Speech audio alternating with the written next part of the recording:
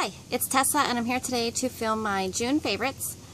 And I was having a really, really hard time trying to film outside today and I don't know why. This camera settings, I was just playing with them, moving the furniture everywhere. So we're going to get through this basket of favorites and I'm not sure what I'm going to do next time I want to film outside because this was not working. It's still dark. I really had to overexpose it and reset the white balance and it's still just not right. So, anyway, I have a couple fails and the rest are favorites. I have a lot of favorites this month. I will start with the L'Oreal Color Riche Lilac um, lip stuff that I got last year when this was in and the color is Never Lacking and I have this on my lips right now. I really like it.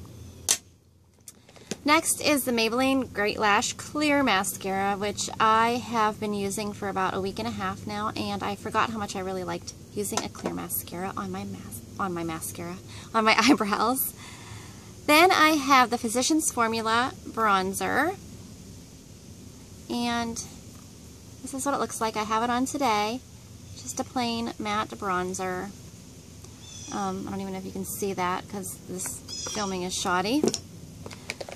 I've also been loving the Mary-Lou Manizer by The Balm, which is just a highlight, and it looks like this. It's a gorgeous, gorgeous highlight. So pretty. If you can see that. Gorgeous. The Rimmel Scandaleyes eyeliner in Nude, which is hard to find, but it can be found here. Just gotta really hunt for it looks like this. It's just a nude eyeliner. I have it on my waterline today. It, I just can't find anything that really stays on my waterline. I also use this black L'Oreal Voluminous Smoldering Eyeliner for my waterline only. If I try to use it on my um, upper lash line, it smudges. But it works really good for some reason in the waterline. I also have this little mini Vaseline Lip Therapy in Rosy Lips. I love this. I put it on every morning when I want to do my makeup, you know, after I get out of the shower, brush my teeth, whatever. I put this on. It's just this little baby Vaseline. I have a few brushes. I have this dupe for a MAC 187. It's a duo fiber brush that I use for blush. I love this for blush. I got this on eBay. I have the Bdellium Tools 953 that I got from my friend Deanna. It's also a duo fiber. I love this for highlight. This is my favorite highlight brush. Um, I recently got the e.l.f. powder brush because somebody had sent this to me when I ordered um, something. This was just a freebie. I love this for BB cream. I never thought I would like love this, but I do. And it's super, super, super super soft.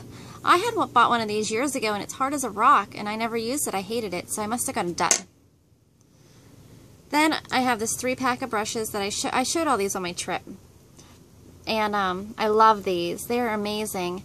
This pencil brush especially is my favorite. I don't have like a pencil brush, so that's awesome. The Jordana 12 Hour Made to Last Liquid Eyeliner Pencil in Black Point is my favorite eyeliner. Why aren't you focusing?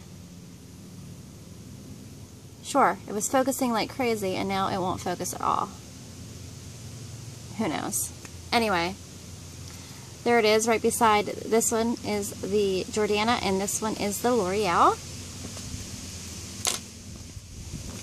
I have the Balm Instain Argyle Blush. I have this on today as well.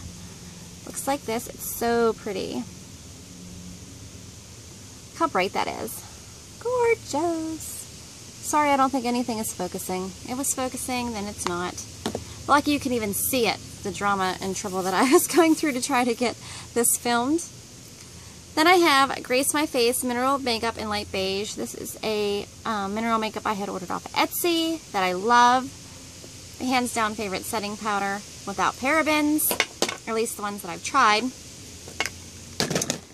The IT Cosmetics Your Skin But Better CC Cream with SPF 50. This stuff is amazing. It has full coverage. Seriously, I have it on today. Like, totally full coverage. It's awesome. Love it. Then I have the Too Faced Better Than Sex Mascara. Probably the best mascara I've ever used in my life.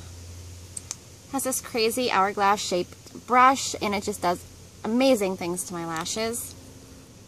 I don't ever want to use another mascara again. Then I have three nail polishes. This one is not the right one. Whatever, set that aside. Orly in Beach Cruiser is a bright hot pink.